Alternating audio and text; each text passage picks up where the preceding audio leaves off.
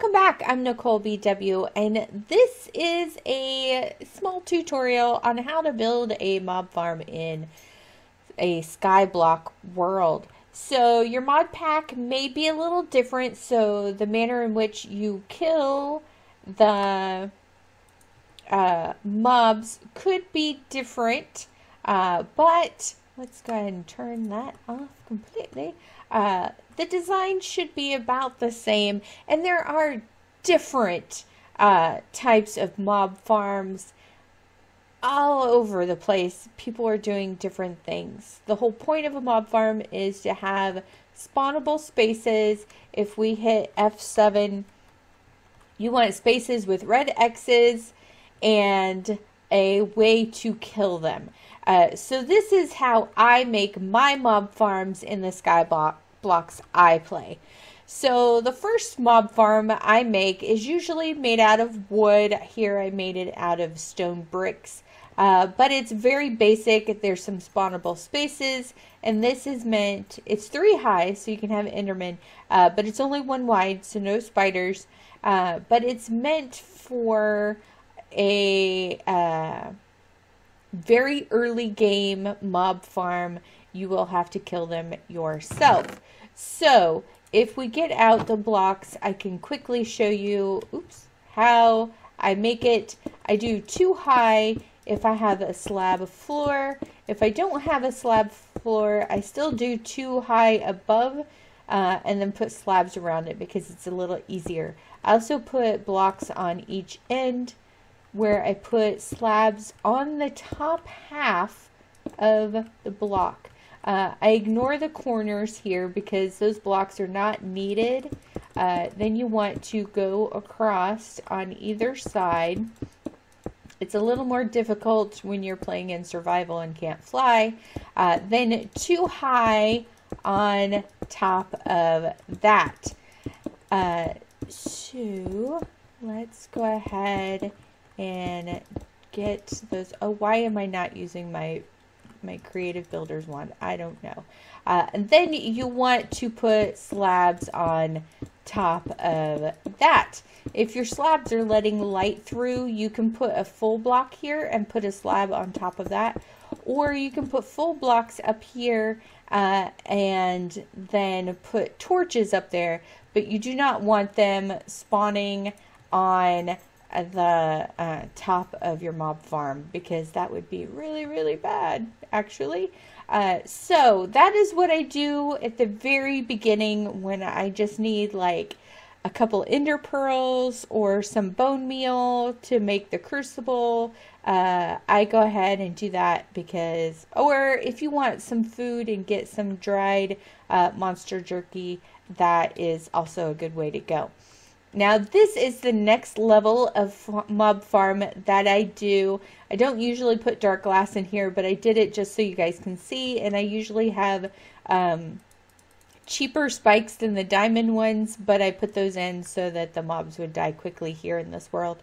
Uh, so all it is, is in this pack in 1.10 we have uh, mob fans from Mob Grinding Utilities. In 1.7 uh, point 10, I used conveyor belts, uh, the ones that were made from the uh, the rails, the Minecraft regular rails. Uh, those because those spawn mine uh, or spawn spawn mobs.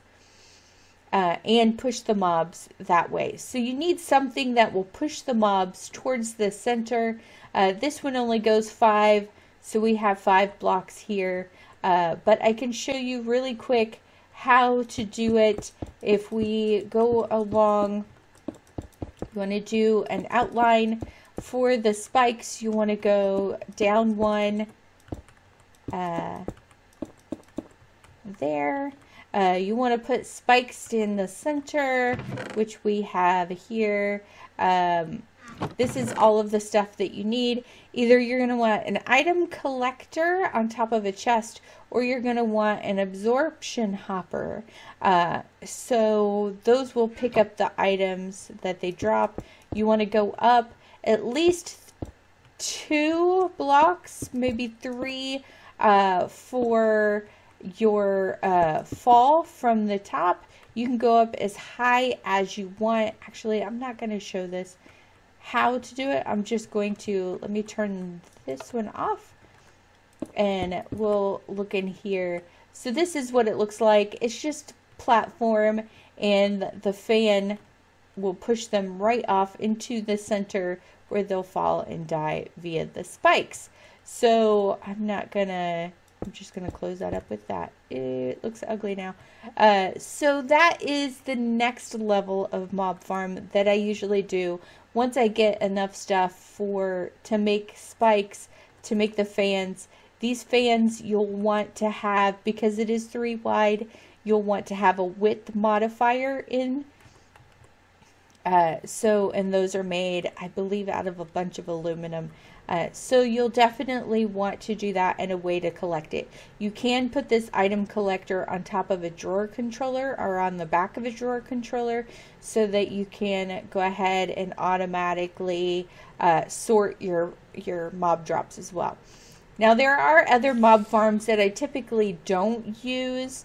Uh, this is just a cursed earth spawning room and with some sort of grinder or automatic killer in there. It does not have to be the draconic evolution one, uh, but you can have, if you're playing in 1.7.10, you can do uh, the regular grinder, you can do uh, anything that would automatically kill the mobs for you. Uh, you can even have fans pushing them over to spikes if you want. It doesn't matter. Here I have the absorption hopper uh, set up. I have six upgrades. I don't know if it needs six for this size, but that's the max is six. And then I have fluids going down and items going into the chest. So you can do that. And it does not have to be inside of the room. It can be outside, which is amazing. Here's one. If you build it up higher, it you can do just fall drop uh, and kill the mobs that way. Here I have diamond spikes again with another item collector on top of a chest. Uh, but this is the max size for the fans uh, as far as the length goes. Uh, the distance you can do another uh, couple of them so you can have it what six wide let's see one seven wide, I believe, is the max. Uh, so you could do seven wide rooms with just one mob fan to push them all uh, into the center. But I have three prongs here that do that. There's more spawning area. So if we back up, we can take a look. Uh, it does not want to, uh, there we go. And they're kind of going it's not i don't know what the problem is with this world but sometimes they want to spawn and sometimes they don't. It's really weird. Uh, but i usually go with something sort of like this uh, or i'll do some sort of different shape like a circle or something. But this is the basic idea. You want spawnable spaces. You want to push them quickly out of those spaces and to their death. The quicker you do that, the faster your mob spawner is going to be, uh, and the more drops you're going to end up getting. The higher of the uh, spikes you go, you can also enchant them. I believe it's still true for 1.10 um, and get different things uh, from them with the different enchants. Uh, there's also many different ways that you can kill them. There's a mob masher. Uh, there's all kinds of things uh, depending on what kind of uh, um, mod you have in your pack that you are playing. But this is the basic idea. These are very, very basic uh, mob farms. These are the ones that I do. Again, there are many different styles out there, so I encourage you to check out YouTube uh, and find other styles. But this is very basic for how I start off with my mob farms in my skyblock worlds. So I hope you enjoyed the episode. I hope you learned a little something and it answered questions. Um, if you have any more questions, please feel free to uh, write them down below. I read all responses to my videos and I will get back to you with an answer as soon as I possibly can. And uh, hopefully, you have learned something, you enjoyed the episode, and I will see you guys next time. Bye bye.